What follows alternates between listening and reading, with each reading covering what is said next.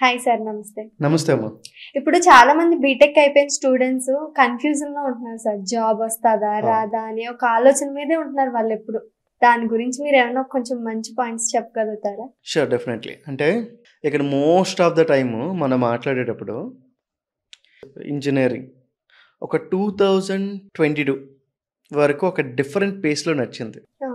Two thousand twenty three also okay twenty four వచ్చేసరికి ఏమైందంటే seventy percent of the placements companies కాలేజీలకు వెళ్ళే వరకు చాలా వరకు తగ్గిపోయాయి.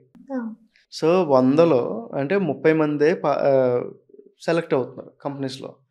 సెవెంటీ పర్సెంట్ పీపుల్కి జాబ్స్ లేవు. సో అది most of the private colleges నేను చెప్తున్నాను సార్ అంటే యావరేజ్గా.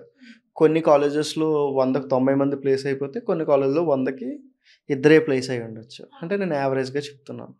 సో ఇక్కడ ఈ దీనిలోని చాలామంది స్టూడెంట్స్ ఏమవుతున్నారంటే కొంచెం అంటే కైండ్ ఆఫ్ డిప్రెషన్లో ఉన్నారు.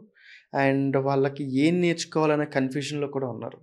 ఎందుకంటే పేరెంట్స్ దగ్గర నుంచి ఒక ప్రెషర్ ఉంటుంది.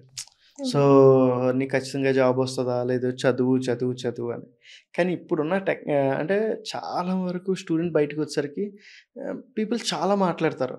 అంటే ఫుల్ స్టాక్ మాట్లాడతారు ఏఐ మాట్లాడతారు క్లౌడ్ అంటారు. ఇంతకుముందు ఏం లేదు. జనరల్ ఏంటంటే ఒక ten fifteen years back ten years back కానీ అంతా కూడా జావానే ఉండేది. తర్వాత పైథాన్ యాడ్ అయింది. సో కానీ ఇప్పుడు ఏమవుతుందంటే సిఎన్డిఎస్ అని ఒకరు అంటారు కొంతమంది ఏమో ఏఐ అంటారు కొంతమంది ఏమో పైథాన్ అంటారు కొంతమంది రకరకాలుగా అన్నీ చెప్తుంటారు.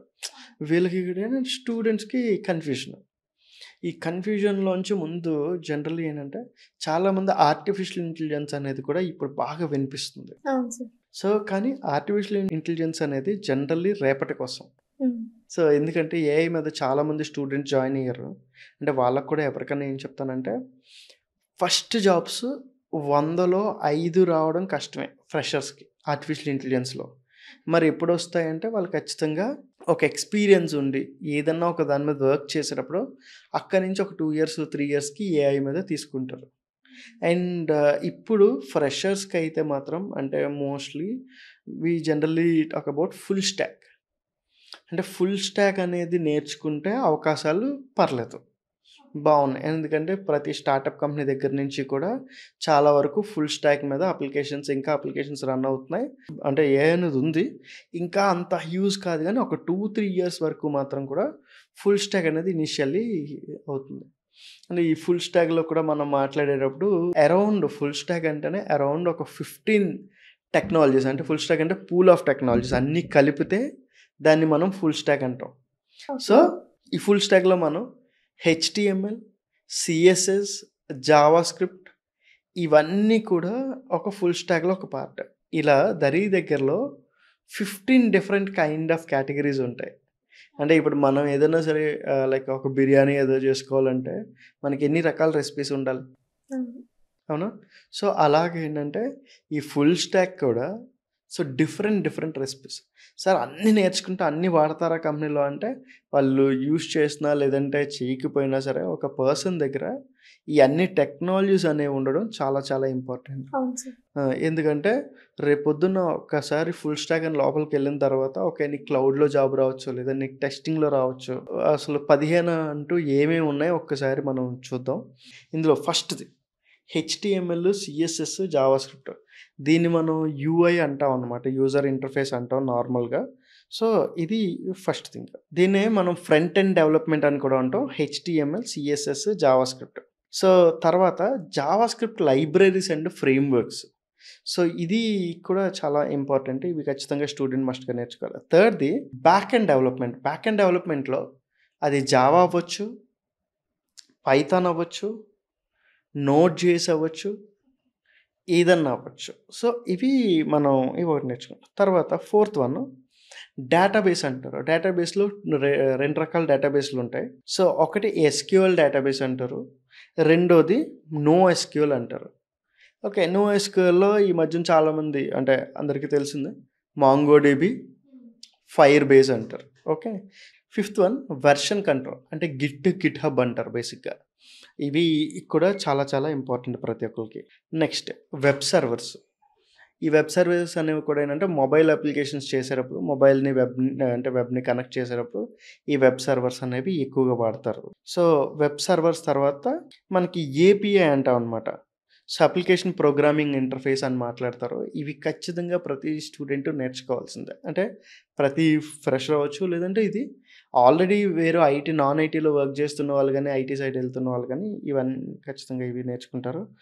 ఫ్రంట్ బిల్ టూల్స్ అంటారు. అంటే ఇందులో మనకి వెబ్ ప్యాక్ అని బ్యాబల్ అని వీటిలో ఏదన్నా మనం నేర్చుకోవచ్చు. తర్వాత మెయిన్లీ ఇందులోనే టెస్టింగ్ కూడా. ఎందుకంటే టెస్టింగ్ అనేది సెపరేట్గా చాలామంది టెస్టింగ్ టెస్టింగ్ అంటారు. అలా సెపరేట్గా ఇప్పుడు తీసుకోవట్లేదు. టెస్టింగ్ కూడా one of the part it might be unit testing or end to end testing ఇలా ఇలా.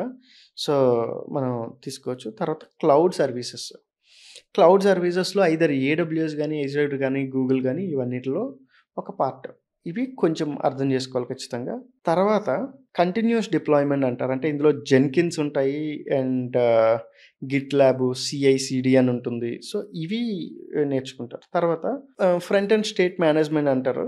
రెడెక్స్ రియాక్ట్ ఇవన్నీ ఇందులో వస్తాయి. రియాక్ట్ రెడెక్స్ ఫర్ రియాక్ట్ అంటాం. సో నెక్స్ట్ ఏంటంటే కంటైనరైజేషన్ అంటాం. అంటే ఇందులో మనకి డాకర్ డాకర్ కంపోజ్ ఇలాంటివన్నీ జనరల్గా వస్తుంటాయి అనమాట తర్వాత ఈ వెబ్సైట్ అంతా అయిన తర్వాత వెబ్ సెక్యూరిటీస్. అంటే జనరల్లీ సైబర్ సెక్యూరిటీ సెపరేట్గా నేర్చుకుంటారు. బట్ అంటే బేసిక్ వెబ్సైట్ సెక్యూరిటీస్ అనేది ఇక్కడ నేర్చుకోవడం. తర్వాత web app architecture. So web app architecture అంటే ఇవన్నీ ఖచ్చితంగా ఎవరైతే నేర్చుకుంటారో వీళ్ళని మాత్రమే ఫుల్ స్టాక్ డెవలపర్స్ అంటారు.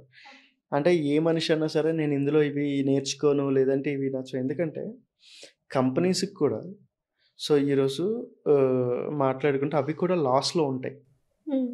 చాలా వరకు వాళ్ళకు కూడా ఎలాంటి పీపుల్ కావాలి? అంటే నార్మల్ పీపుల్ కాకుండా అంటే మన గుర్రాలు అంటాం రేస్ గుర్రాలు అంటాం. రేస్కి ఏ యూస్ చేస్తాం? ఆబ్వియస్లీ రేస్ గుర్రాలు. అలా ఏంటంటే పీపుల్ ఎవరైతే అన్నీ నేర్చుకొని నేను ఏదన్నా ఫ్యూచర్లో చేయగలుగుతాను. అనే వాళ్ళు సో వీటిలోకి ఈజీగా అంటే వెళ్ళొచ్చు.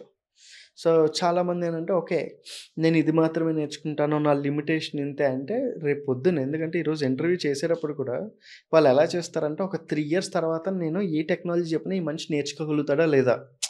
అలాగే ఇంటర్వ్యూస్ చేస్తారు తప్ప ఓకే ఒక ఆరు నెలలకో లేదంటే ఒక సంవత్సరం సరిపడగా నాకు సరిపోతాడా లేదా అనేది ఇప్పుడు లేదు. అంటే ఫ్యూచరే చూస్తున్నారు. ఓకే నేను ఇప్పుడు ఈ మనిషికి ఒక టెక్నాలజీ తీసుకుంటే ఫుల్ స్టాక్లో తీసుకుంటే తర్వాత ఈ మనిషి నేను ఆర్టిఫిషియల్ ఇంటెలిజెన్స్లోకి తీసుకోవచ్చా? లేదంటే కంప్లీట్లీ క్లౌడ్ వైపు తీసుకోవచ్చా? లేదంటే కంప్లీట్లీ సెక్యూరిటీస్ వైపు తీసుకోవచ్చా ఈ మనిషిని? అవన్నీ మన దగ్గర నుంచి అనాలిసిస్ చేసి ఓకే నేను ప్రతిదీ చేయగలుగుతాను ప్రతిదీ నాకు తెలుసు అనే కాన్ఫిడెంట్తో ఉంటేనే ఖచ్చితంగా ఈరోజు పీపుల్ వాళ్ళని తీసుకుంటున్నారు. సార్ ఇప్పుడు ఫుల్ స్టాక్ నేర్చుకోవడానికి ఎన్ని రోజులు పడుతుంది? ఎవరెవరు ఎలిజిబుల్ అంటారు? ఫుల్ స్టాక్ ఎవరైనా నేర్చుకోవచ్చు? అని అంటే జనరల్ ఏంటంటే ఇప్పుడు ఇంజనీరింగ్ స్టూడెంట్ చదువుతున్న వాళ్ళు ఎవరైనా నేర్చుకోవచ్చు. అంటే ఇది బేసిక్గా వాళ్ళు ఫస్ట్ ఇయర్ అన్నా సెకండ్ ఇయర్ అన్నా థర్డ్ ఇయర్ అన్నా సరే వాళ్ళు కాలేజ్ అయిపోయిన తర్వాత ఈవినింగ్స్ దే కెన్ లర్న్ రెండోది ఏంటంటే మనకి హైదరాబాద్ ఆఫీస్లో అంటే మా దగ్గర కానీ నేర్చుకుంటే సో ఇది హైదరాబాద్ ఆఫీస్లో అవైలబుల్ ఉంటుంది. బీటెక్ అయిపోయిన వాళ్ళు కానీ లేదంటే కెరీర్ గ్యాప్ ఉన్న వాళ్ళు కానీ ఎవరైనా నేర్చుకోవచ్చు. ఇంతకు ముందులో ఏంటంటే జనరల్లీ ఇప్పుడు కంపెనీస్ అన్నీ కూడా ఓకే ఫోర్ ఇయర్స్ గ్యాప్ ఉంది ఫైవ్ ఇయర్స్ గ్యాప్ ఉందని చూడట్లేదు. సో ఎంత బాగా వర్క్ చేయగలుగుతున్నాం అనే చూస్తున్నారు. ఆ గ్యాప్స్ ఫేక్ పెట్టుకునేవన్నీ డేస్ పోయాయి. ఈరోజు ఎవ ఎవరన్నా సరే మనం బాగా వర్క్ చేయగలుగుతాం ఒక అప్లికేషన్ కంప్లీట్ చేయగలుగుతాం అంటే companies are ready to take అనమాట ఈ పాలసీలు అన్నీ two thousand twenty three before ఇవన్నీ ఫేక్ పెట్టుకోవడం అలాంటివి ఉన్నాయి. ఇప్పుడైతే ఆప్షన్ అవసరం లేదు actually. So any one can learn. ఇది హార్డ్లీ ఏంటి అంటే అరౌండ్ వన్ ఫిఫ్టీ నుంచి టూ హండ్రెడ్ అవర్స్ పడుతుంది వాళ్ళకి నేర్చుకునే దాన్ని బట్టి వాళ్ళ ఎబిలిటీ బట్టి. నూట యాభై గంటలు అంటే రోజు మూడు గంటలు నేర్చుకోవచ్చు రోజు గంట సేపు నేర్చుకోవచ్చు. సో వన్ ఫిఫ్టీ అవర్స్ నుంచి two hundred hours complete learning hours అనమాట దీన్ని మనం రోజుకు గంట సేపు చెప్పి నేర్చుకుంటే ఒక ఆరు నెలలు నేర్చుకోవచ్చు. ఓ రోజుకి త్రీ అవర్స్ అనుకోండి. అంటే ఒక ఫోర్ మంత్స్లో డిపెండ్స్. ఇలా అనమాట రోజుకి వన్ అవర్ నేర్చుకుంటే పెర్ మంత్కి థర్టీ అవర్స్ కదా. సో అలా కాకుండా రోజుకి త్రీ అవర్స్ నేర్చుకుంటే ఏమవుతుందంటే ఓ టూ హండ్రెడ్ త్రీ మంత్స్లోనే కంప్లీట్గా సో ఈ ఫుల్ స్టాక్ని నేర్చేసుకోవచ్చు. సో ఇది విషయం. ఇన్ కేస్ ఎవరికన్నా మన ఆడియన్స్కి జనరల్ మోర్ డీటెయిల్స్ ఉంటే కింద లింక్లో రిజిస్టర్ అయితే will give them proper guidance. Okay. Thank you